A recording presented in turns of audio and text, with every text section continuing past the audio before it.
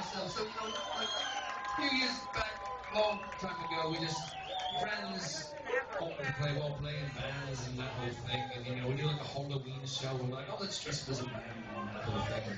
And the first thing we did was Black Sabbath, which was fucking great. Who doesn't love Black Sabbath, you know what I mean? Yeah, a great time. But uh, we decided to move on, and you know, one night in, our, in our little rehearsal studio, you know, uh,